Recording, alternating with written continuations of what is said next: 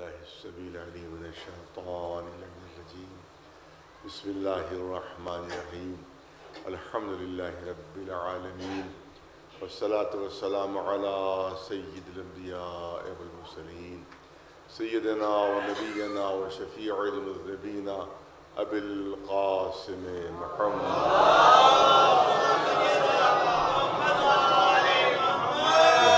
الطيبين الطاهرين المعصومين.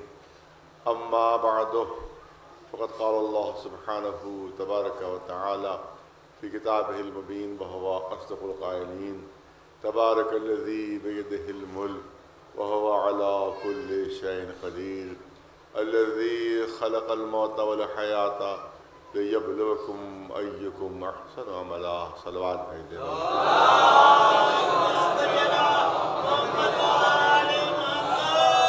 گزارش ہے ایک مرتبہ سورہ حمد اور تین مرتبہ سورہ توحید کی تلاوت فرما کر جناب ناظم حسین صاحب مرحوم، ابن جناب محمد ہاشم صاحب مرحوم کی روح پر رسالہ سے آئے کریمہ مشہور و معروف سورہ ملک کا ابتدائی جز ہے کہ جس کو آپ کے سامنے تلاوت کرنے کا شرف حاصل کیا۔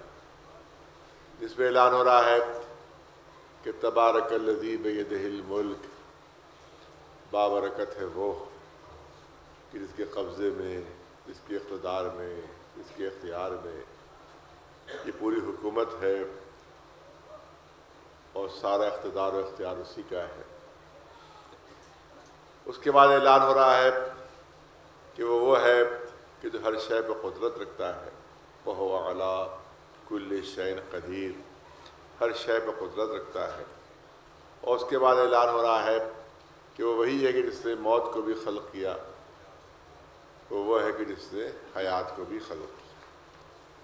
اور موت و حیات کو خلق کرنے کا فلسفہ اور مقصد یہ ہے کہ لے یبلوکم ویکم احسن و عملہ تاکہ وہ آزمائے، تاکہ وہ پرکھے تاکہ وہ امتحان لے کہ تم میں بہترین عمل کرنے والا کون ہے۔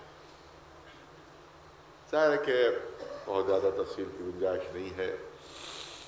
ابتدائی آیت قدرت اعلان فرما رہی تبارک الذی بیدہ الملک۔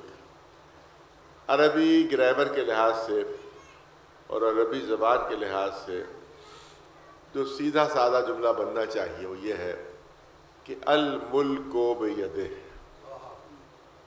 الملک و بیدہ۔ بادشاہ جو ہے وہ اللہ ہے، حاکم جو ہے وہ اللہ ہے، صاحب اقتدار جو ہے وہ اللہ ہے۔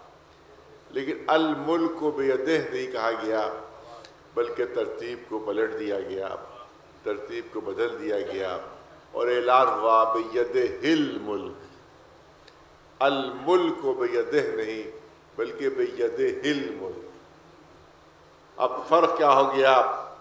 معلوم زمین و آسمان کا فرق ہو گیا۔ کیونکہ الملک کو بیدہ اگر ہوتا تو اس کے معنی یہ نکلتے کہ وہ بادشاہ ہے اللہ کے سلسلے میں، کہ وہ بادشاہ ہے، وہ حاکم ہے، وہ مالک ہے، وہ صاحب اقتدار ہے، وہ صاحب اختیار ہے۔ تو سننے والی سمجھتے کہ جس طرح سے اور بادشاہ ہیں، ایک بادشاہ اللہ بھی ہے۔ جس طرح سے اور حاکم ہے ایک حاکم اللہ بھی ہے۔ جس طرح سے اور صاحبان اقتدار ہے ایک صاحب اقتدار اللہ بھی ہے، جس طرح سے اور دنیا میں صاحبان اختیار ہے اسی طرح سے صاحب اختیار اللہ بھی مگر الملک کو بیدہ نہیں کہا گیا، بلکہ بیدہ الملک۔ ترتیب کو الٹ دیا، ترتیب کو بدل دیا۔ الملک کو بیدہ کا معنی ہوتے کہ جس طرح سے اور بادشاہ ہیں، ایک بادشاہ اللہ بھی ہے۔ جس طرح سے اور حاکم ہے، ایک حاکم اللہ بھی ہے۔ جس طرح سے اور صاحبان ملک ہیں، ایک صاحب ملک اللہ بھی ہے۔ لیکن جب ترتیب بدلی تو معنی زمین و آسمان کا فرق ہو گیا۔ اب معنی کیا ہوئے؟ اب مطلب کیا ہوا؟ اب مطلب یہ ہوا کہ بادشاہ صرف وہی ہے۔ حاکم صرف وہی ہے۔ صاحب اقتدار صرف وہی ہے۔ صاحب ملک صرف وہی ہے۔ اگر دنیا میں کسی کو کوئی حکومت مل جاتی ہے، تو اسی کی دی ہوئی بھیک ہوتی ہے۔ اگر کوئی حاکم بن جاتا ہے، تو اسی کی دی ہوئی بھیک ہوتی ہے کہ جس کو پا کر بادشاہ بادشاہ بن جاتا ہے، حاکم حاکم بن جاتا ہے، صاحب اقتدار صاحب اقتدار بن جاتا ہے۔ اس کی دی ہوئی بھیک ہوتی ہے اور یہی دی ہوئی بھیک جب وہ کبھی واپس لے لیتا ہے۔ جب اسی دی ہوئی بھیک کو کبھی واپس لے لیتا ہے تو بڑے بڑے حاکمان وقت، بڑے بڑے شہنشاہ دو گز زمین کے محتاج ہو جاتے ہیں۔ اور ان کو اپنے ملک میں دو گز زمین بھی نہیں مل پاتی۔ ایک سلوات بھیجے۔ لگا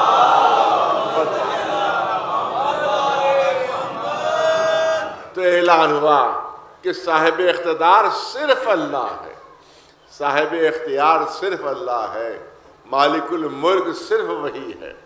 اور اگر کسی کو کوئی حکومت ملتی بھی ہے دنیاوی کسی حاکم کو، دنیاوی کسی بادشاہ کو، تو اس کی ہوئی بھیک ہوتی ہے جس کو وہ پا کر صاحب ملک بن جاتا ہے۔ اب ظاہر ہے کہ بازوق مجمع ہے۔ ماشاء اللہ سب کے سب بازوق ہیں۔ دو چار جملے عرض کرنا چاہتا ہوں۔ کہ تاریخ کے ہر پلٹے ہوئے ورق نے بتایا بہت توجہ چاہوں گا۔ انشاءاللہ ایک لفظ بھی ضائع نہیں ہوگا۔ تاریخ کے ہر پلٹے میں ورق نے بتایا کہ حکومت فرعون کی نہیں تھی۔ بلکہ اس کی تھی کہ جس نے آخر میں ڈبو دیا۔ تاریخ کے ہر پلٹے میں ورق نے بتایا کہ اقتدار نمرود کا نہیں تھا۔ بلکہ اس کا تھا کہ جس نے ایک حقیر سے مچھر کے ذریعے اس سرے پر غرور کو بے بس کر دیا تھا۔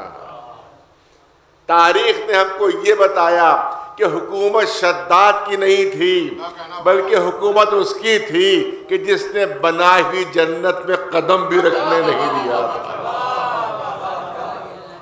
جس نے بنائی ہوئی جنت میں قدم بھی رکھنے نہیں دیا تھا اور اقتدار سکندر کا نہیں تھا، بلکہ اقتدار اس کا تھا کہ جس نے سکندر کو آئین عبرت بنا دیا تھا۔ ایک سلوات بھیجے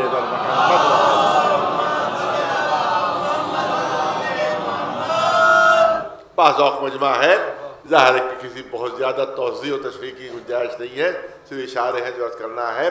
آپ دیکھیں قرآن مجید کی ایک مثال آپ کے سامنے پیش کرنا چاہتا ہوں۔ بہترین مثال اس موضوع سے متعلق۔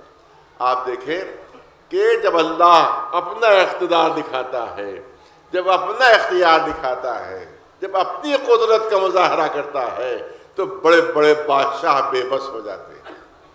بڑے بڑے حاکم جو ہے وہ بے بس ہو جاتے ہیں۔ آپ دیکھیں کہ فرعون نے پوری طاقت صرف کر لی۔ پوری قوت صرف کر لی۔ کہ موسا دنیا میں آنے نہ پائے۔ ستر ہزار بچوں کو قتل کیا گیا کہ موسا دنیا میں آنے نہ پائیں جاسوس بیٹھے ہوئے کہ اسی کسی گھر میں بچہ پیدا ہوا بن اسرائیل کے۔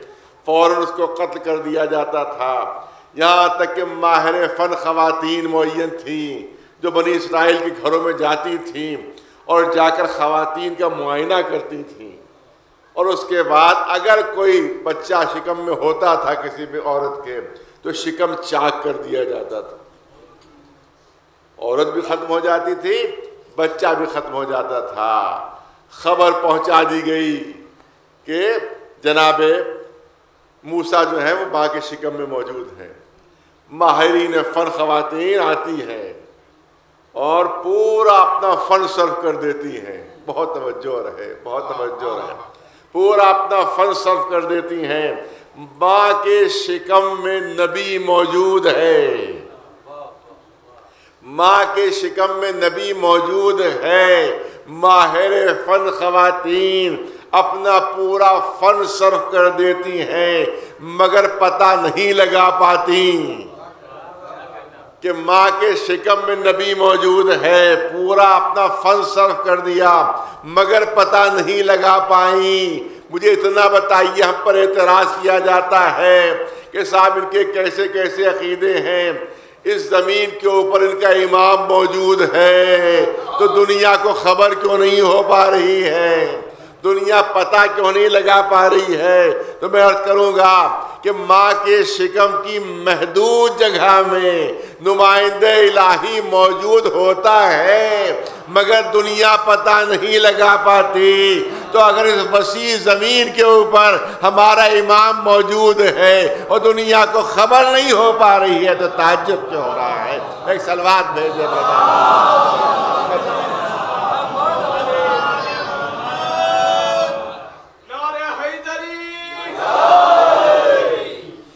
خلق اعلان ہو رہا ہے کہ وہ وہ ہے کہ جو ہر شے پر قدرت رکھتا ہے۔ ظاہر ہے کہ حاکم وہی ہوتا ہے جو ہر شے پر قدرت رکھتا ہو۔ جو ہر ایک سے بے نیاز ہو، میں توجہ چاہوں، پھر توجہ چاہوں گا آپ حضرات کی۔ آج کل کے جو تناظر حالات اس کے لحاظ سے آپ کے سامنے کرنا چاہتا ہوں کہ حاکم وہی ہے کہ جو کسی کا محتاج نہ ہو۔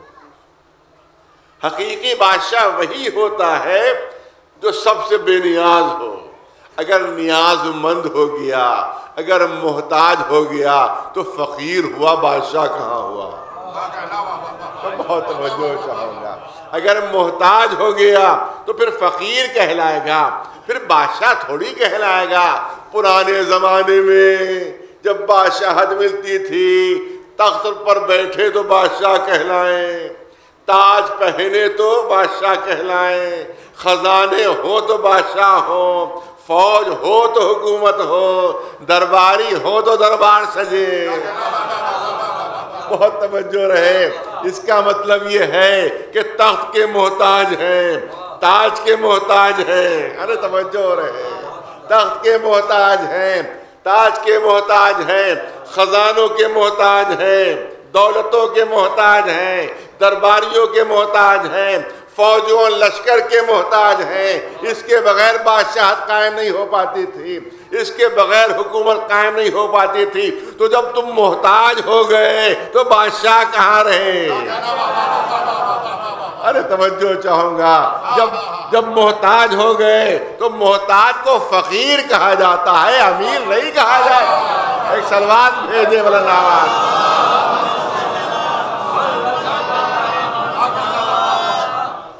محتاج کو فقیر کہا جاتا ہے، امیر نہیں کہا جاتا، حاکم نہیں کہا جاتا، صاحب اقتدار نہیں کہا جاتا، صاحب اختیار نہیں کہا جاتا۔ پہلے زمانے میں بھی محتاج تھے، آج بھی محتاج ہیں۔ ارے توجہ رہے، آج بھی محتاج ہیں۔ پہلے کہے کہ محتاج تھے تخت پر بیٹھے تو بادشاہ بنے۔ تاج پہنے تو بادشاہ بنے۔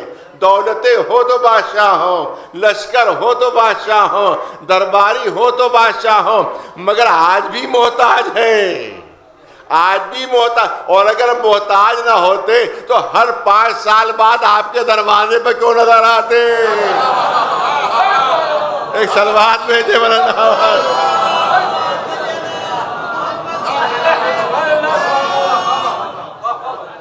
اگر محتاج نہ ہوتے تو ہر پانچ سال بعد آپ کے دروازے پر نظر نہ آتے، بھیگ دے دیجیے۔ بھیگ دے کہے کی بھیگ؟ ارے، پہلے دولتوں کے محتاج تھے، آج ووٹ کے محتاج ہے ایک سلوات بھیج بلند آواز۔ محمد۔ ایک سلوات بلند آواز۔ تمہر محمد محمد۔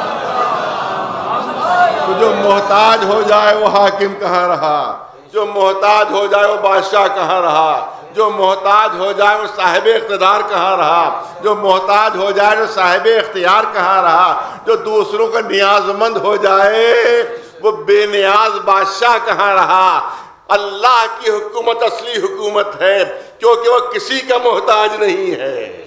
اپنی حکومت میں سب سے بے بہت توجہ کے نتیجے تک لے جانا ہے۔ میں بہت توجہ چاہوں گا۔ اصل حکومت اللہ کی ہے۔ کیونکہ وہ اپنی حکومت میں کسی کا محتاج نہیں ہے۔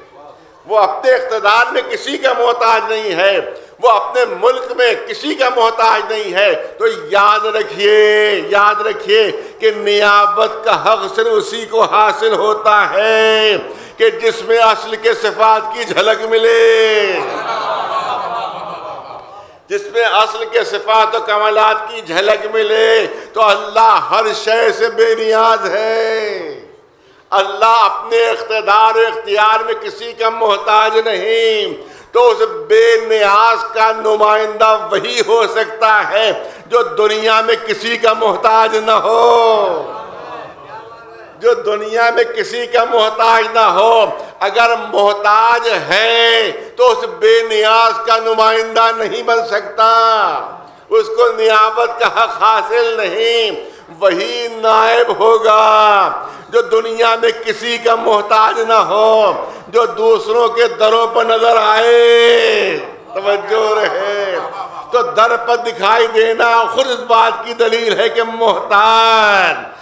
اور جس کے در پر دوسرے نظر آئے تو سمجھ لینا کہ یہ کسی کا محتاج نہیں۔ ارے توجہ رہے۔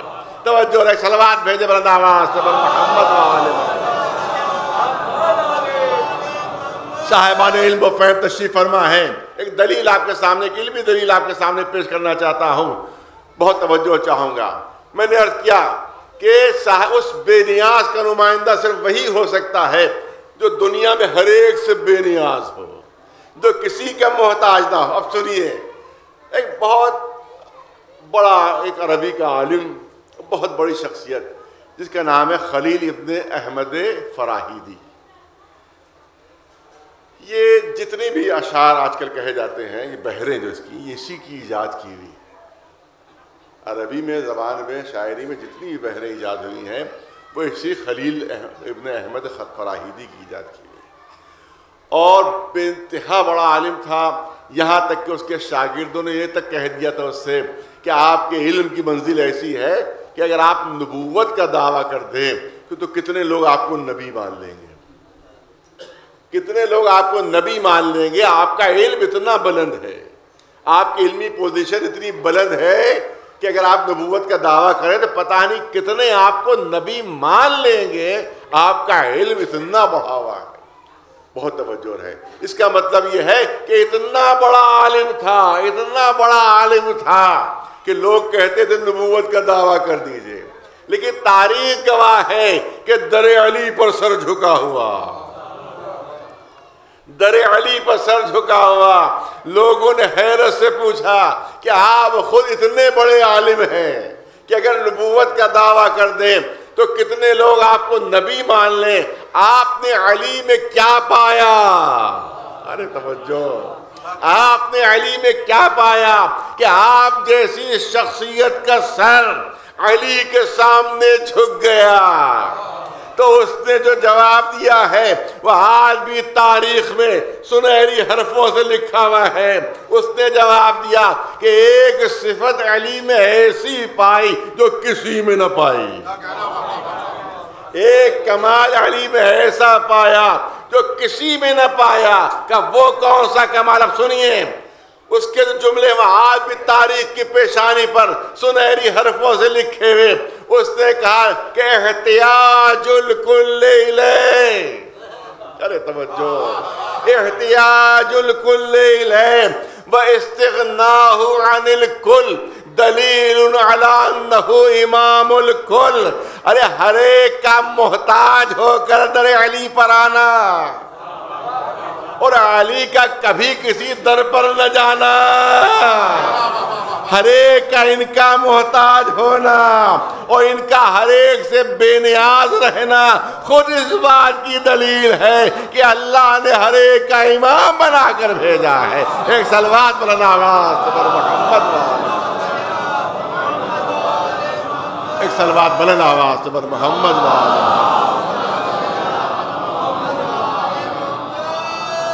ایک بات بہت زور و شور سے کہی جاتی ہے کہ صاحب، حکومت جو ہے وہ اہل بیت کا حق ہے، آپ کہتے ہیں حکومت اہل بیت کا حق ہے، حکومت اہل بیت کا حق ہے۔ تو اگر کسی کا حق چھینا جاتا ہے، تو اپنا حق حاصل کرنے کی کوشش کرتا ہے۔ دیکھیے، یہ دلیل ہے، ہو سکتا ہے کسی بچے، جوان کے سامنے پیش کی جائے، تو اس کو ہو سکتا ہے کچھ پریشانی ہو جائے۔ میں چاہتا ہوں اس کا جواب بچوں جوانوں تک پہنچ جائے کہ کسی کی جیب سے، فرض کی میری جیب سے اگر کوئی پچاس، سو روپے لے کر بھاگے، تو میں اس کے پیچھے دوڑوں گا کہ نہیں دوڑوں گا؟ ارے بھائی خود نہیں دوڑ پاؤں گا تو فریاد کروں گا۔ ارے دیکھیے، میرے سو روپے لے کے بھاگا جا رہا ہے، اس کو جلدی پکڑیے اس کو۔ میری جیب سے سو روپے نکالنی ہے پچاس روپے نکالنی ہے تو کسی کی جیب سے اگر پچاس روپے بھی نکال لے جائے، سو روپے بھی نکالے جائے، تو یا تو خود حاصل کرنے کی کوشش کرتا ہے یا فریاد کرتا ہے کہ بھائی دوڑو، پکڑو اسے۔ میرے جیب سے پچاس روپے، سو روپے نکال لے گیا ہے۔ تو سو پچاس بھی اگر کسی کے چھین لے تو وہ حاصل کرنے کی کوشش کرتا ہے، واپس لینے کی کوشش کرتا ہے۔ اور اہل بیت کی اتنی بڑی حکومت چلی گئی اور کبھی انہیں نے واپس لینے کی کوشش نہیں کی۔ دلیل سنی، بہت توجہ ہے اتنی بڑی حکومت چلی گئی اور انہیں کبھی واپس لینے کی کوشش ہی نہیں کی۔ اور حقیقت بھی یہی ہے۔ کہ جب انہیں نے ٹھوکر ماری ہے حکومت پر دب دوسروں تک پہنچی ہے حکومت۔ بہت توجہ رہے۔ تو ان کا اگر اب یہی دلیل پیش کی جاتی۔ کہ اگر ان کا حق ہوتا، تو کبھی تو حاصل کرنے کی کوشش کرتے، کبھی تو واپس لینے کی کوشش کرتے۔ انہوں نے کبھی واپس لینے کی کوشش ہی نہیں کی۔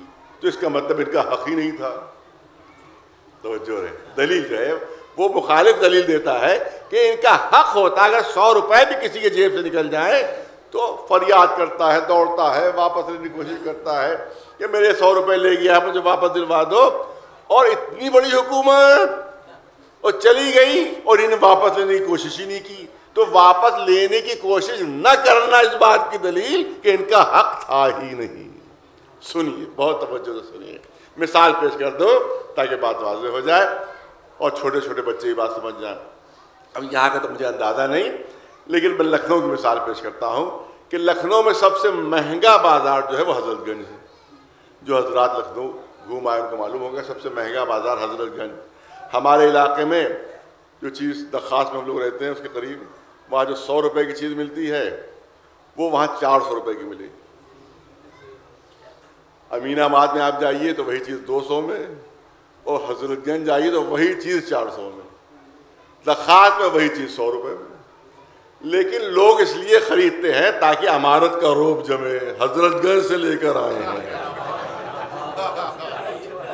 آپ تم خود ہی سمجھ لو کتنے امیر ہیں ہم، کتنے پیسے والے ہیں ہم۔ حضرت گنج سے لے کر آئے جبکہ معلوم ہے کہ یہی چیز نخاص میں سو میں مل جائے گی۔ مگر حضرت گنج سے لے کر آئے ہیں تاکہ لوگوں پر عمارت کا اور دولت کا روپ جمے کہ بھائی اتنے دولت مند ہیں کہ سو کی چیز چار سو میں وہاں سے خرید کے لے کر آئے ہیں۔ تو سب سے مہنگا بازار لکھنؤ میں جو ہے وہ حضرت گنج ہے۔ اب مثال بچوں کی اور جوانوں کے لیے پیش کر رہا ہوں کہ فرض کیجیے کوئی بہت بڑے سیٹ وہ اپنی کسی بہت قیمتی کار سے حضرت گنج پہنچے۔ اب کوئی کار بھی تصور کر لی جو آج کل زمانے میں قیمتی ہو۔ مرسڈیز ہے یا کوئی ہے یا کوئی ہے، کوئی بھی کار دو چار پانچ کروڑ کی، معلوم کہ اس سے اترے ہو، بہترین سوٹ، قیمتی سوٹ پہنے ہوئے۔ اپنے جیب سے انہیں بہت ایک تندرست بٹوا نکالا۔ بٹوے کی تندرستی خود بتا رہی تھی کہ پورا وہ نوٹوں سے بھرا ہوا ہے، پورا وہ۔ انہیں نے، اس میں سے انہیں نے ایک نوٹ کھینچا، اب وہ مثال ہزار کے نوٹ کی تو ختم ہو گئی۔ اب تو ہزار کا نوٹ ہی ختم ہو گیا۔ اب فرض کیجیے دو ہزار کا نوٹ۔ انہیں نکالا اور اس کے بعد اپنے نوکر کو دیا کہ جاؤ فلاں سامنے والی دکان سے فلاں چیز میرے لیے لے آؤ۔ اتفاق سے ان کے بٹوے میں کبھی کسی زمانے کی اٹھنی بھی رکھی ہوئی تھی۔ اب تو اٹھنی کی کوئی چیز بھی نہیں ملتی۔ لیکن کبھی کی ایک اٹھنی ان کے بٹوے میں رکھی ہوئی تھی۔ اب جو نے وہ نوٹ کھینچا تو اتفاق سے وہ اٹھنی بٹوے سے نکل کر سڑک پر گری۔ اور سڑک پر جو گری تو لڑکتی ہوئی سامنے نالی میں چلی گئی۔ لڑکتی ہوئی سامنے نالی میں چلی گئی۔ اب مجھے اتنا بتائیے کہ وہ سیٹ جو مرسڈیز گاڑی سے اترا ہو۔ جس کے بٹوے میں ہزاروں نوٹ بھرے ہوئے ہوں۔ صرف یہی نہیں بلکہ گھر میں جو تجوری ہے، پتہ نہیں کتنا خزانہ اس میں ہوگا۔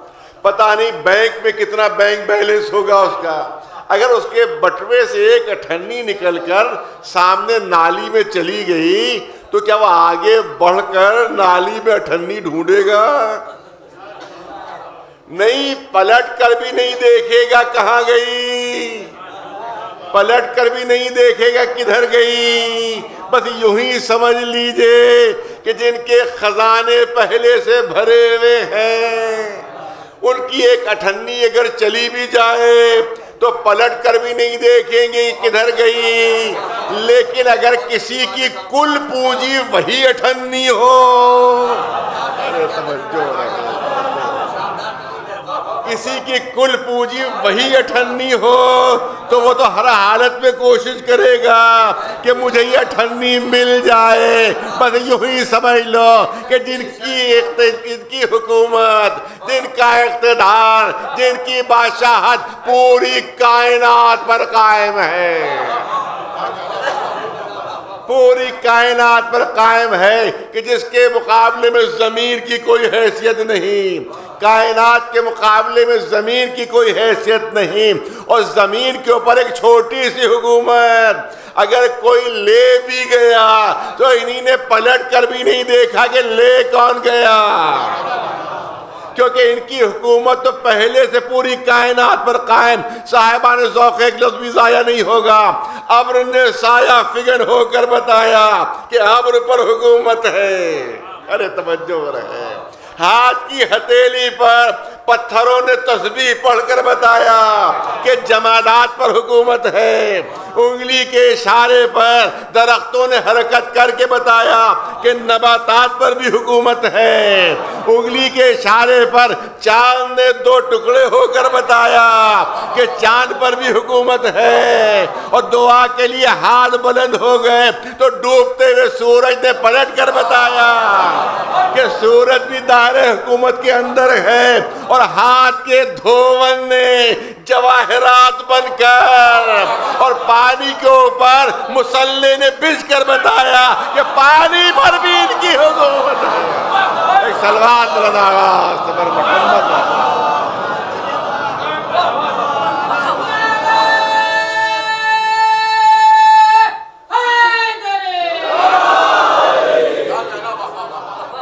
حقیقت یہی ہے کہ جن کی حکومت پوری کائنات کا تصور بھی نہیں ہم کر سکتے کہ کتنی وسیع ہے۔ ماشاءاللہ مجھ سے بہتر نوجوان یہاں پڑھے لکھے موجود ہیں کہ یہ سورج یہ بہت قریب ہے، یہ زہرہ یہ بہت قریب ہے، یہ اتاری یہ بہت قریب ہے، یہ تو سیارے ہیں۔ ہماری کہکشاں، جس کہکشاں میں ہم رہتے ہیں وہ ملکی وے جس میں ہم رہتے ہیں، اس کا جو سب سے قریبی ستارہ ہے، وہ ساٹھ ارب میل دور ہے۔ یہاں سے ساٹھ ارب جو ہمارا ہمسایہ ستارہ ہے، وہ ساٹھ ارب میل دور ہے۔ اور ایسے اربوں ستارے اس کہکشاں میں ہیں، اور ایسی اربوں کہکشانے اس کائنات میں ہیں۔ تو جس کی پوری کائنات پر حکومت ہو، اس کی نگاہوں میں اس پوری زمین کی کوئی حیثیت نہیں ہے۔ اس پوری زمین کی کوئی حیثیت نہیں، اور اس زمین کے پر اگر کوئی چھوٹی سی حکومت ہو، تو ان کی نگاہوں میں اس حکومت کی کیا حیثیت ہوگی؟ پھر جملے نظر کرنا چاہتا ہوں۔ ارے، اگر کس کے، کسی قبضے میں پورا سمندر ہو، تو ایک قطرے کی کیا حیثیت سمجھے گا؟ جس کا اقتدار پورے صحرا پر ہو، وہ ایک ذرے کی کیا حقیقت سمجھے گا؟ ارے، جس کے ٹھوکر لگنے سے مٹی سونا بن رہی ہو، وہ دنیا کے خزانوں کی کیا حقیقت سمجھے گا؟ اور جس کے اشارے پر دیکھیں صاحبان ذوق جملہ ضائع نہیں ہوگا۔ ارے، جس کے اشارے پر ڈوبتا ہوا سورج پلٹ رہا ہو، وہ دنیا کی ڈوبتی بھی حکومتوں کی۔ کیا حیثیت سمجھے گا؟ اور جس کے قدم مہر نبوت پر آ رہے ہو، وہ تخت حکومت کی کیا حیثیت سمجھے گا؟ ایک سلوات بھیجے برداوات محمد۔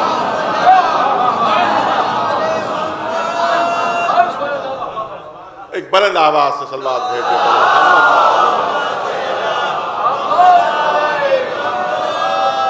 ساتویں امام امام موسیٰ قاضم علیہ السلام امام کا جواب سنیے، بنیادی جواب ہے اور ہر امام کا یہی جواب ہے۔ ہر امام کا یہی جواب ہے، بنیادی جواب۔ ہارون رشید نے کہا کہ، اے موسیٰ قاضم مجھے یہ اطلاع ملی ہے کہ تم لشکر جمع کر رہے ہو، اسلحہ جمع کر رہے ہو، لوگوں کو آمادہ کر رہے ہو۔ کہے کے لیے؟ کہ اپنی حکومت واپس لینا چاہتے ہو۔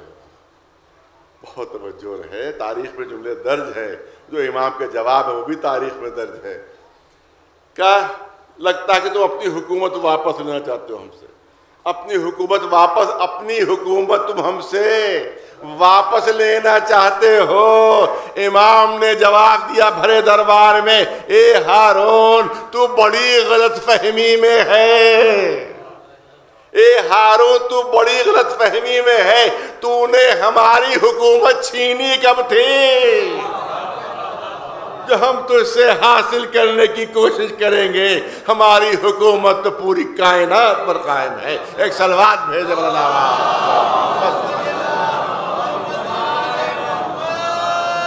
بس، ظاہر ہے کہ بہت زیادہ تفصیل کا موقع نہیں ہے۔ تبارک اللذی بیدہ الملک وهو على كل شيء قدير الذي خلق الموت والحیات۔ وہ اللہ وہ ہے۔ کہ جس نے موت کو خلق کیا، جس نے حیات کو خلق کیا۔ پڑھا لکھا مجمع، صاحبان ذوق۔ دیکھیے یہاں کے اوپر اعلان ہو رہا ہے کہ اللہ نے موت کو پیدا کیا، موت کو خلق کیا اور حیات کو خلق کیا۔ موت کو پیدا کیا، حیات کو پیدا کیا۔ موت کو خلق کیا، حیات کو خلق کیا۔ یعنی جس طرح سے زندگی خلق ہوئی ہے اسی طرح سے موت بھی خلق ہوئی ہے۔ اب علماء بھی تشریف فرما ہے۔ دیکھیے، اس کا مطلب ہے کہ موت فنا کا نام نہیں ہے۔ موت مٹنے کا نام نہیں ہے۔ موت عدم کا نام نہیں ہے۔ کیونکہ جو چیز فنا ہوتی ہے، جو ادب سے تعلق رکھتی ہے، اس کے لیے خلق کا لفظ استعمال نہیں ہو سکتا۔ اس کا مطلب یہ ہے کہ جس طرح سے زندگی وجودی شے ہے اسی طرح سے موت بھی کسی وجودی شے کا نام ہے۔ کیونکہ اللہ اعلان فرما رہا ہے کہ موت کو ہم نے خلق کیا موت کو خلق کیا۔ اس کا مطلب یہ کہ موت مٹنے کا نام نہیں موت فنا ہو جانے کا نام نہیں ہے موت ختم ہو جانے کا نام نہیں ہے۔ بلکہ صاحبان ذوق جملہ عرض کر دوں کہ کتاب زندگی کے ایک ورق کے پلٹ جانے کا نام موت ہے۔ ایک سلوات بھیجے محمد۔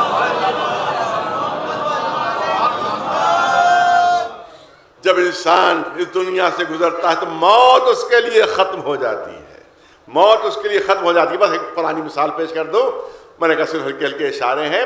آپ دیکھیں، ایک آیت ضرور پڑھی جاتی ہے ان موقعوں پر کہ جب کسی کی مجلس ہوتی ہے، کسی کے سال ثواب کے سلسلے میں کہ کل نفس ذائقت الموت۔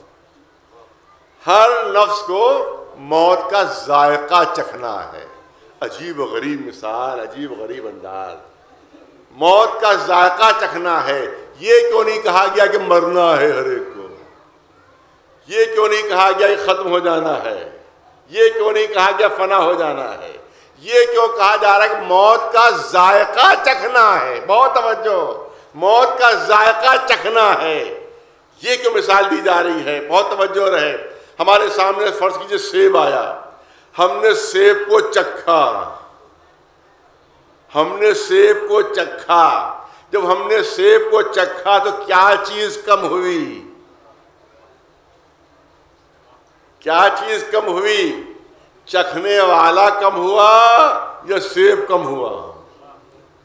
اور کہیں تو جو چاہ رہا ہوں جب ہم نے سیب کو چکھا تو کیا چیز کم ہوئی؟ جس چیز کو چکھا جاتا ہے وہ کم ہوتی ہے۔ چکھنے والا باقی رہتا ہے۔ ارے توجہ رہے۔ جس چیز کو چکھا جاتا ہے وہ کم ہوتی ہے۔ چکھنے والا باقی رہتا ہے۔ اب یہاں کا تو مجھے معلوم نہیں، لیکن لکھنؤ کا قاعدہ یہ ہے بہت قریب ہے بائیس رجب، کہ جب بائیس رجب کی نظر ہوتی ہے تو خواتین جو جو دسترخوان میں کنڈے سجاتی ہیں، اس کے اندر جو ٹکیاں وغیرہ ہوتی ہیں، تو وہاں کا قانون یہ ہے کہ جب تک وہ ساری نظر کا سامان ختم نہ ہو جائے، اس وقت تک کہ دسترخوان وہ نہیں اٹھاتی۔ معلوم نظر چکھنے والے آ رہے ہیں اور نظر چکھی جا رہی ہے، نظر چکھی جا رہی ہے۔ تو مجھے اتنا بتائیے کیا چیز کم ہو رہی ہے؟ مجھے یہ بتائیے کیا چیز کم ہو رہی ہے؟ چکھنے والے کم ہو رہے ہیں؟ یہ جو چیز چکھی جا رہی ہے وہ کم ہو رہی ہے۔ اس کا مطلب ہے جو چیز چکھی جاتی ہے وہ ختم ہوتی ہے۔ جو چکھتا ہے وہ باقی رہتا ہے۔ اسی لیے اللہ نے اعلان فرمایا کہ ہر ایک کو موت کا ذائقہ چکھنا ہے۔ جب تم نے موت کا ذائقہ چکھ لیا تو موت تمہارے لیے ختم ہو جائے گی اور ہمیشہ کی زندگی مل جائے گی۔ ایک سلوات بھیجے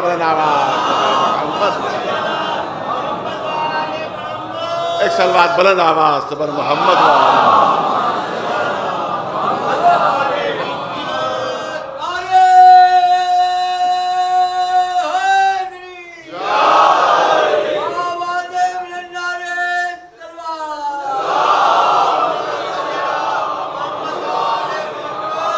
میں نے کہا کم وقت میں اپنی بات کو مکمل کر دوں۔ ایک چیز خلق الموت والحیا موت کو خلق کیا، بہت توجہ پھر چاہوں گا کیونکہ ظاہر تفصیل نہیں ہو پا رہی ہے صرف اشارے۔ موت کو خلق کیا، حیات کو خلق کیا۔ موت کو خلق کیا، حیات کو خلق کیا۔ اس کا مطلب دونوں چیزیں اللہ کی مخلوق ہیں۔ موت بھی اللہ کی مخلوق، حیات بھی اللہ کی مخلوق۔ ایک بات بہت زبازت ہے۔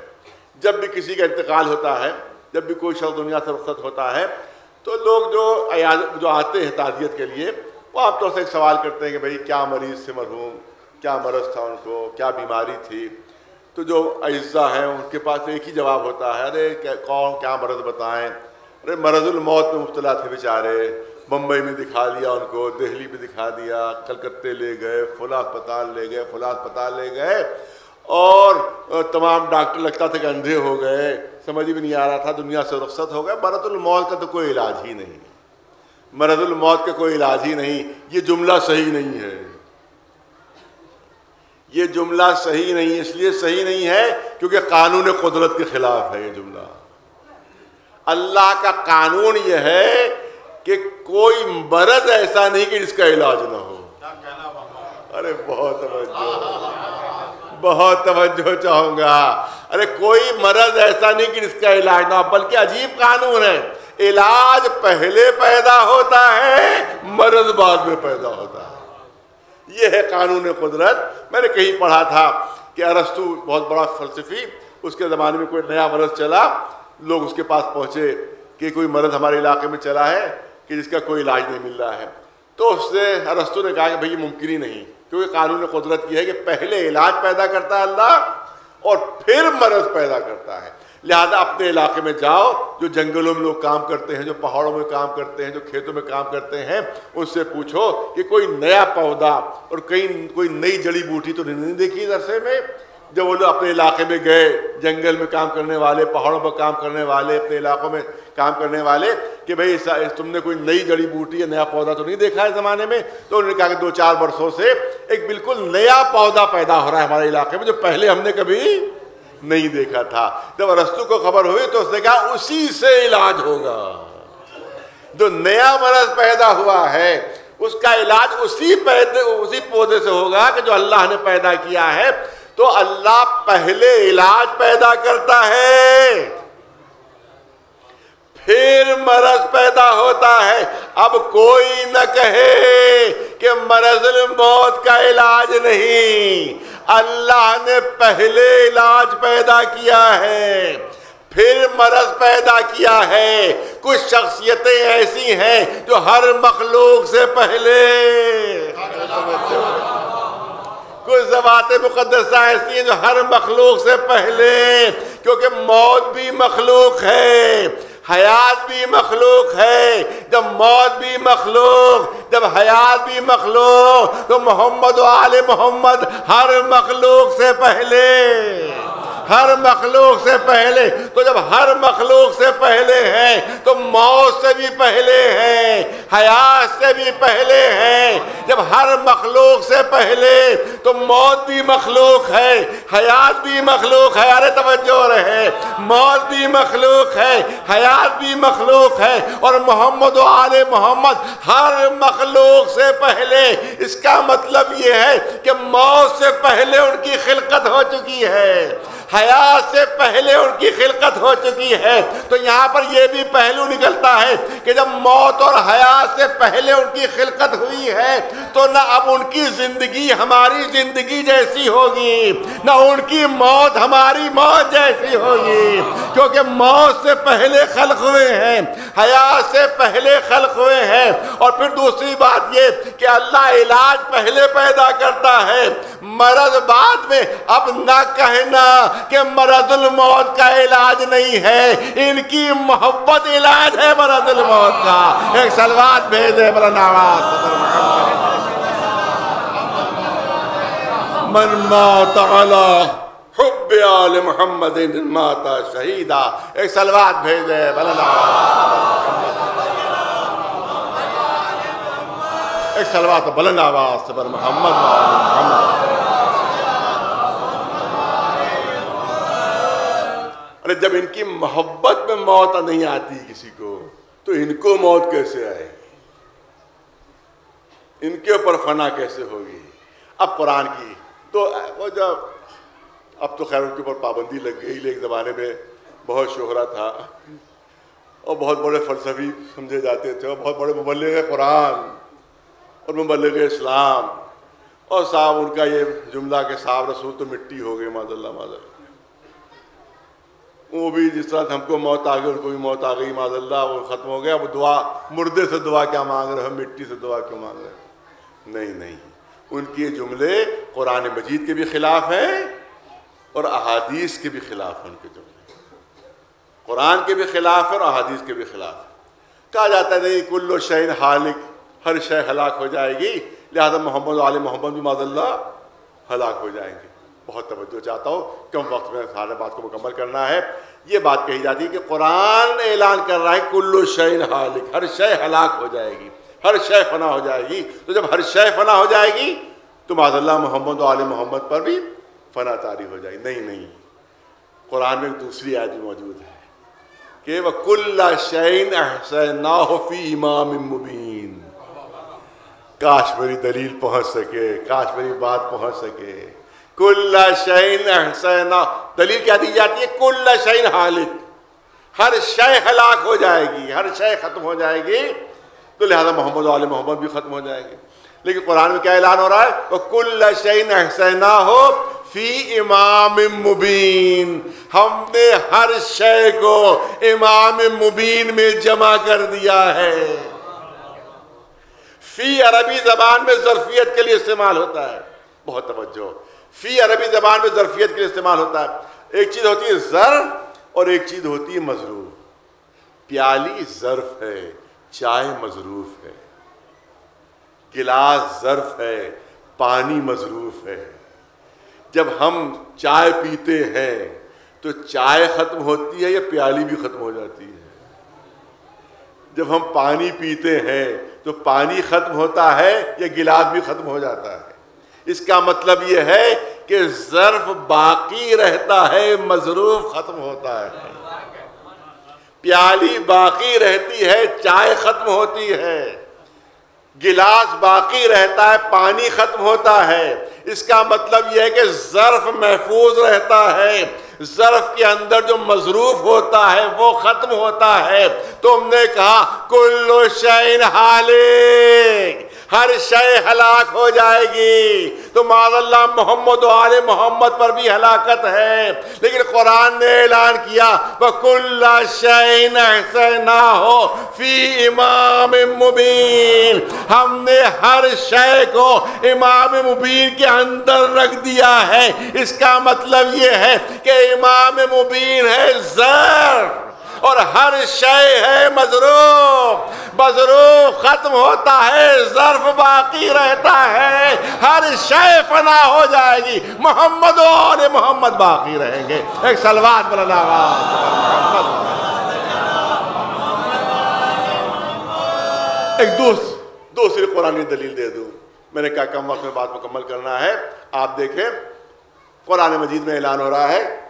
کہ جب پوری کائنات ختم ہو جائے گی، قیامت آ چکے گی، ہر شے مٹ جائے گی، نہ زمین ہوگی، نہ آسمان ہوگے، نہ ستارے ہوں گے، نہ ملک ہوں گے، نہ فرشتے ہوں گے، نہ جنات ہوں گے، نہ انسان ہوں گے، اس وقت اللہ کی آواز گونجے گی، لمن الملک اليوم لمن الملک اليوم بتاؤ کہ آج ملک کس کا ہے؟ بتاؤ کہ آج اقتدار کس کا ہے؟ بتاؤ کہ آج اختیار کس کا ہے؟ پھر مثال دوں تاکہ میری مثال تو ایسی ہوتی کہ چھوٹے چھوٹے بچے بھی بات سمجھیں۔ مشکل بات بھی آسان مثالوں سے آسان ہو جاتی ہے۔ میں اپنے گھر میں گیا، جتنے بھی گھر میں رہنے والے تھے، سب سے کہا کہ گھر سے باہر چلے جاؤ۔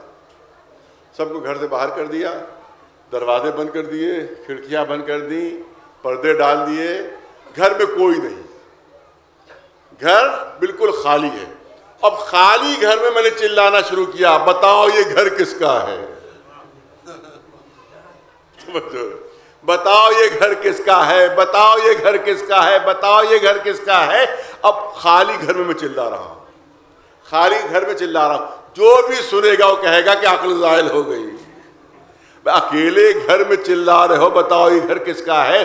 جب کوئی جواب دینے والا ہی نہیں ہے تو سوال کس سے کر رہے ہو؟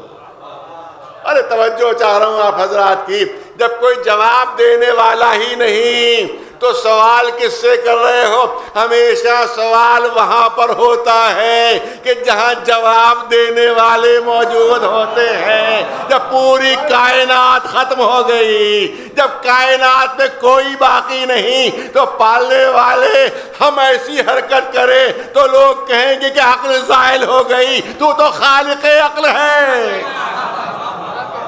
تو تو خالق عقل ہے، پوری کائنات میں ایک ایک چیز فنا ہو چکی ہے۔ کچھ باقی نہیں، اور تیری آواز گونج رہی ہے۔ لیمن الملک اليوم بتاؤ کہ آج ملک کس کا ہے؟ بتاؤ کہ آج اقتدار کس کا ہے؟ بتاؤ کہ آج حکومت کس کی ہے؟ خود اللہ کا سوال ہی اس بات کی دلیل ہے کہ کوئی جواب دینے والا موجود ہے۔ کوئی جواب دینے والے ہیں جو جواب دیں گے؟ وَلِلَّهِ الْوَاحِدِ الْقَحَارِ ارے، پہلے بھی تیری ہی حکومت تھی، آج بھی تیری ہی حکومت ہے۔ ایک سلوات بلن آواز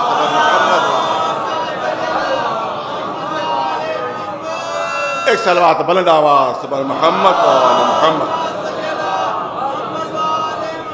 بس، اس سے زیادہ نہیں عرض کرنا ہے۔ خلق الموت والحیات۔ لِيَبْلُوَكُمْ أَيُّكُمْ أَحْسَنُ عَمَلًا۔ بہت سنجیدہ موضوع میں نے اختیار کیا تھا کہ بچوں جوانوں تک کوئی پیغام پہنچے۔ ہم نے موت اور حیات کو اس لیے خلق کیا تاکہ ہم یہ اندازہ کریں کہ بہترین عمل کرنے والا کون ہے۔ احسن عمل کرنے والا۔ یہاں پر بھی ایک بہت لطیف پہلو ہے جو صرف دو منٹ میں کرنا چاہتا ہوں۔ قدرت نے یہ نہیں کہا کہ اکثر عمل کرنے والا کون ہے؟ کون زیادہ عمل کرنے والا ہے؟ معیار کثرت عمل نہیں اللہ کی بارگاہ میں۔ معیار کثرت عمل نہیں ہے، معیار حسن عمل ہے۔ جس کو آج کے اصطلاح میں کہا جائے کہ کوانٹٹی معیار نہیں ہے، کوالٹی معیار ہے۔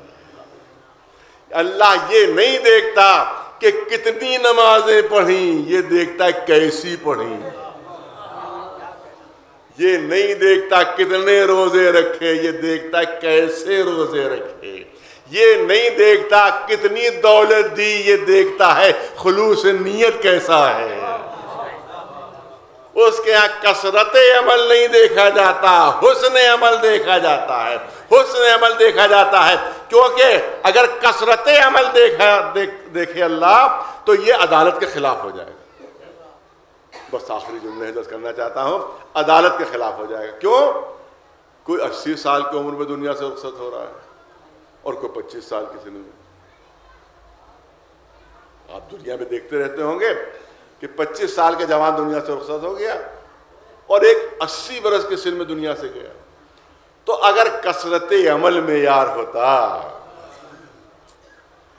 تو اسی سال کے جو بوڑھا، اس کی نمازیں زیادہ، اس کے روزے زیادہ، اس کے خیر و خیرات زیادہ، اس کو حج کا موقع زیادہ، اس کو عزاداری کا موقع زیادہ، اس نے شب داریاں زیادہ کیں، اس نے مجلسیں زیادہ کیں، یہ پچیس سال کا ہے۔ اس نے نمازیں بھی کم پڑھیں اس نے روزے بھی کم رکھے، اس نے خیر و خیرات بھی کم کیے بارگاہ الہی میں۔ اگر اس کا ثواب زیادہ ہو، اس کا ثواب کم ہو، تو بارگاہ الہی میں عرض کرے گا کہ پالنے والے، میں اپنی مرضی سے تو مرا نہیں۔ تو نے جتنی عمر دے دی اتنا ہی مجھے نمازیں پڑھنے کا موقع ملا، اتنا ہی روزے رکھنے کا موقع ملا۔ مجھے بھی اسی سال کا سن دیتا، تو میری نمازیں بھی اتنی ہی ہوتی، میرے روزے بھی اتنے ہی ہوتے، میرے خیر و خیرات بھی اتنے ہی ہوتے۔ میرا ثواب کم ہے، اس کا ثواب زیادہ۔ تو دیدہ قدرت آئے گی کہ کثرت عمل میں یار نہیں ہے، حسن عمل میں یار ہے۔ ارے ساری زندگی کی عبادتیں ایک طرف ہو جاتی ہیں اور ایک سجدہ کبھی کبھی ہر عبادت پر بھاری ہو جاتا ہے۔ ایک سلوات سبر محمد۔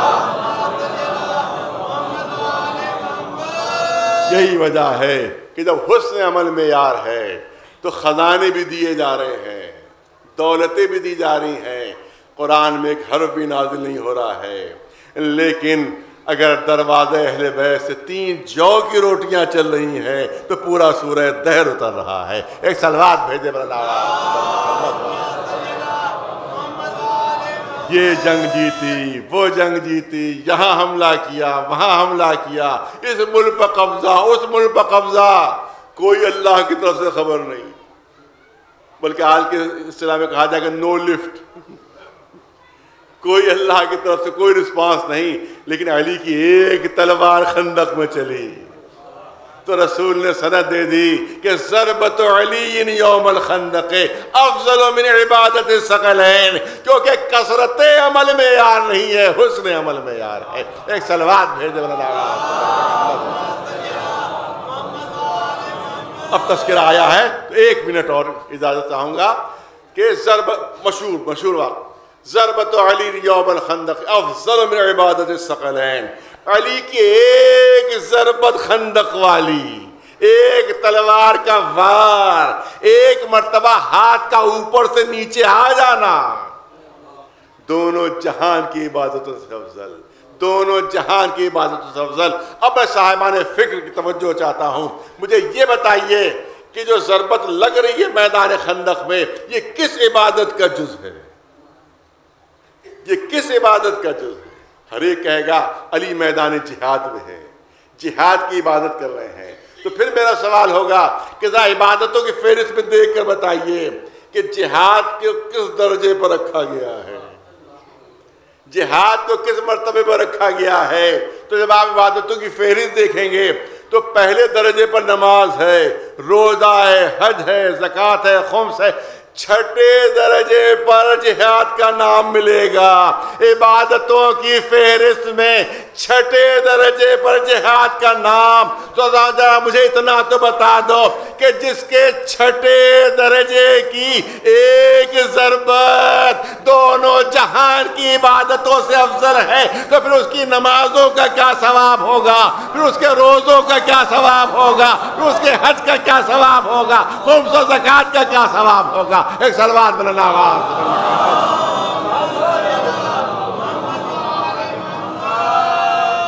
ایک سلوات بلند آواز بس، بات مکمل ہو گئی۔ ایک اعتراض کا پھر جواب ہی اوپر۔ اتنے لوگوں نے اسلام کے لیے قربانیاں، یہ بار بار کہا جاتا ہے، اس لیے میں جواب دینا چاہتا ہوں۔ بدر میں اتنے مارے گئے عہد میں اتنے مارے گئے، خندق میں اتنے مارے گئے فلا جنگ میں اتنے فلا جنگ میں اتنے۔ آپ کسی شہید کا تذکرہ نہیں کرتے۔ یہ اعتراض ہوتا ہے۔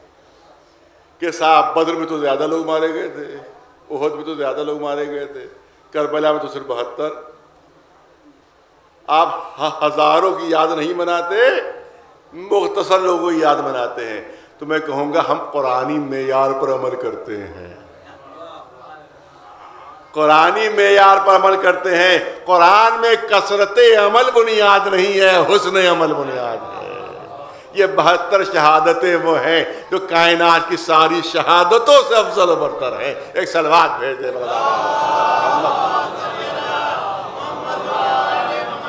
ایسے ایسار ایسا سے بات قدم، ایسی قربانیاں۔ تاریخ میں بے مصر، بے نظیر۔ ظاہر اولاد کی طرف سے اس سارے ثواب کی مجلس ہے۔ جو دو جملے بس دنیا میں سب سے بلند ترین محبت ماں باپ کی محبت ہوتی ہے۔ اس سے بڑی کوئی محبت ہوتی ہی نہیں۔ اولاد کو قدر نہیں ہوتی، معذرت کے ساتھ، معافی کے ساتھ۔ اولاد کو اندازہ ہی نہیں ہوتا کہ ماں باپ اس سے کتنی محبت کرتے ہیں۔ اولاد کو اندازہ نہیں ہوتا۔ ماں باپ ہوتے ہیں جو اپنی پوری زندگی اپنی اولاد کے لیے قربان کر دیتے ہیں۔ اپنا سب کچھ نشاور کر دیتے ہیں اولاد کے خود کچھ ہو جائے، ماں باپ اثر نہیں ہوتا۔ لیکن اگر بچے کے کانٹا بھی چپ جائے، تو ماں باپ کی تڑپ دیکھیے، ماں باپ کی بے چینی دیکھیے۔ خود شدید بخار میں مبتلا ہوں۔ یہ بھی کام دوڑ کر کر رہے ہیں، وہ بھی کام دوڑ کر کر رہے ہیں۔ بچے کو ہلکی سی حرارت ہو جائے۔ پھر ماں باپ کی بے چینی دیکھیے۔ پھر ماں باپ کی طرف دیکھیے تو دنیاوی محبتوں میں سب سے افضل محبت ماں باپ کی محبت ہے۔ لیکن کربلا کا میدان ہے۔ شب عاشور ہے۔ وہی وہی ماں باپ جو گوارا نہیں کرتے کہ ایک ننا سا کانٹا بھی اولاد کے پیر میں چپ جائے، برداشت نہیں کر سکتے۔ وہی ماں باپ اپنی اولاد سے عہد لے رہے ہیں۔ عہد لے رہے دیکھو کل جان دینے میں کوئی کمی نہ کر کہیں فاطمہ زہرا کے سامنے ہمیں شرمندہ نہ کر دینا۔ کہیں رسول کے سامنے ہمیں شرمندہ نہ کر دینا۔ دیکھو، جب تک زندہ رہنا، کوئی تیر حسین کے لگنے نہ پائے۔ جب تک زندہ رہنا، کوئی نیزے کا زخم لگنے نہ پائے۔ دیکھو، دودھ نہیں بخشوں گی باپ کہہ رہے معاف نہیں کروں گا۔ جتنے جملے پھر سنیے کہ جو جو کانٹا لگنا برداشت نہیں کرتے، وہ اولاد عہد لے رہے ہیں کہ ہر تیر اپنے سینے پہ لینا ہر نیزہ اپنے جسم پر لینا، ہر تلوار کا زخم اپنے جسم پر لینا، فرزند فاطمہ زہرا زخمی نہ ہو۔ ہاں ایک شخصیت ہے جس کا نام ہے جناب مسلم نے سجا کربلا کے میدان میں ہے، بڑھاپے کا عالم ہے۔ زوجہ ساتھ ہے، ایک چھوٹا سا بچہ بھی ساتھ ہے۔ میدان جنگ میں جاتے ہیں دادے شجاعت دیتے ہیں، زخمی ہو کر گرے۔ مولا دوڑ کر سرحانے پہنچے۔ مولا نے کبھی گوارا نہیں کیا کہ کسی چاہنے والے کا سر جلتی زمین پر رہے۔ ہر ایک کے سرحانے خود پہنچے، ہر ایک کے سرحانے خود پہنچے۔ پہنچے جناب مسلم کے سرحانے زمین پر بیٹھ گئے۔ مجاہد کا سر جلتی زمین سے اٹھا کر اپنے زانو پر رکھا۔ جناب مسلم ابن سجا نے آنکھیں کھولی، مگر اتنی طاقت نہیں تھی کہ کچھ بول سکیں۔ روایت میں یہ ہے کہ قریب میں جناب حبیب بھی کھڑے ہوئے تھے۔ آنکھوں کے اشاروں سے حبیب کو قریب بلایا۔ اے حبیب قریب آ جائیے، اے حبیب قریب آ جائیے۔ حبیب قریب پہنچے، ذہن میں تصور کہ ابھی جو بیوی ساتھ میں ہے، تھوڑی دیر میں بیوہ ہو جائے گی۔ شاید اس کے لیے وصیت کریں گے۔ بچہ ساتھ میں ہے، تھوڑی دیر میں یتیم ہو جائے گا۔ شاید اس کے لیے وصیت کریں۔ لیکن تاریخ کربلا گواہ ہے۔ جب حبیب قریب پہنچے، تو مسلم نے اشارہ کیا امام حسین کی طرف۔ اے حبیب، اسی کا بحاضر رجل۔ اے حبیب، جب تک میں زندہ رہا، حسین پر کوئی آنچ نہیں آئی۔ اے حبیب، وعدہ کرو، جب تک زندہ رہو گے، آقا پر کوئی آنچ نہیں آنے دے۔ جناب مسلم نے دم توڑا، آقا حسین جنازہ لے کر گنج شہیدہ سے پہنچے۔ جنازہ رکھ کر ابھی مڑے ہی تھے۔ دیکھا ہے، خیمے کا پردہ اٹھا اور ایک چھوٹا سا بچہ دوڑتا ہوا میدان جنگ کی طرف چلا۔ سر پر چھوٹا سا ماما۔ کمر میں جو تلوار بندھی ہوئی قد بچے کا اتنا چھوٹا تھا کہ وہ تلوار زمین کے اوپر خط دیتی جا رہی تھی۔ اب جو امام کی نظر پڑی کہ ایک چھوٹا سا بچہ میدان جنگ کی طرف جا رہا ہے، جناب حبیب سے کہتے ہیں، حبیب دیکھیے، یہ کس کا بچہ ہے جو میدان جنگ کی طرف جا رہا ہے؟ ارے تیروں کی بارش ہو رہی ہے، کہیں بچے کے کوئی تیر نہ لگ جائے، کہیں بچہ زخمی نہ ہو جائے۔ اے حبیب، جائیے، اس بچے کو واپس لے کر آئیے۔ حبیب دوڑ کر پہنچے۔ بچہ اتنا چھوٹا تھا، حبیب نے گود میں اٹھا لیا۔ گود میں لیے لیے امام حسین کی خدمت میں پہنچے۔ آقا پوچھتے ہیں، کس کے نور نظر ہو؟ کس کے لختے جگر ہو؟ وہ بچہ جواب دیتا ہے، اے آقا، جن مسلم کی لاش ابھی آپ لے کر آئے ہیں۔ میں انہی کا بیٹا ہوں، میں انہی کا بیٹا ہوں۔ یہ سننا تھا۔ مولا فرماتے ہیں، حبیب اس بچے کو خیمے کے اندر واپس کر دیجیے، کیونکہ اس کی ماں کے لیے اس کے باپ کا غم کافی ہے۔ یہ سننا تھا، اس بچے نے کہا، آقا، یہ سر پر جو چھوٹا سا ماما ہے، یہ ماں نے اپنے ہاتھوں سے باندھا۔ یہ کمر میں جو تلوار ہے، یہ ماں نے اپنے ہاتھوں سے باندھی ہے۔ ابھی گفتگو ہو رہی تھی، در خیمہ سے آواز آتی ہے، اے آقا، ایک بیوہ کا ہدیہ ہے۔ رد نہ فرمائیے گا، رد نہ فرمائیے گا۔ حسین نے حسرت سے آسمان کی طرف دیکھا۔ پالنے والے، تو دیکھ رہا ہے، مجھ پر وہ وقت پڑ گیا ہے کہ چھوٹے چھوٹے بچے مجھ پر اپنی جان نشاور کر رہے ہیں۔ ازادار و ننہ بچہ میدان میں جاتا ہے۔ چھوٹا سا بچہ کب تک لڑ سکتا ہے؟ زخمی ہو کر گرا۔ ماں در خیمہ سے پورا منظر دیکھ رہی ہے۔ قاتل خنجر لے کر آگے بڑھا۔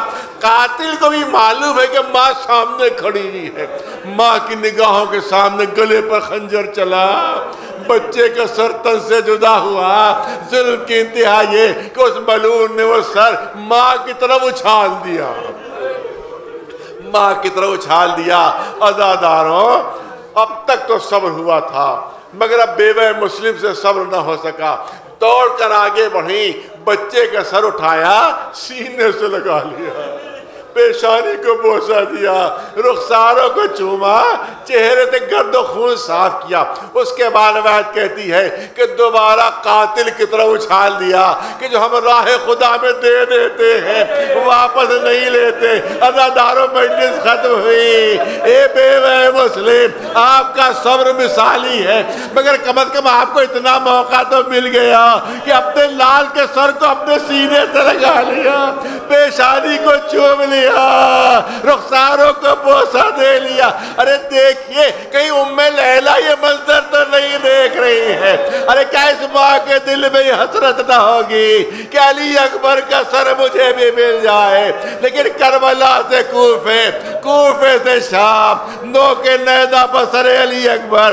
میں شہزادی کی خدمت میں ہاتھ جوڑ کر کرنا چاہتا ہوں، اے شہزادی، اگر سر علی اکبر مل بھی جاتا تو آپ آغوش میں پہ لیتی کیسے؟ پورے راستے ہاتھ بسے گردن سے بدے گئے ماں کے دل میں تمنا رہ گئی۔ علی اکبر کا سر مجھے ملے۔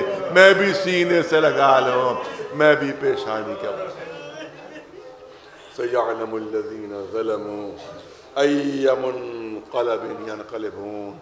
علا لعنت اللہ علی القوم الظالمین۔ گزارش ایک مرتبہ سورہ حم۔ اور تین مرتبہ سورہ توحید کی تلاوت فرما کر جناب ناظم حسین صاحب مرحوم، ابن جناب محمد ہاشم صاحب مرحوم کی روحوں کو حصہ ثواب فرما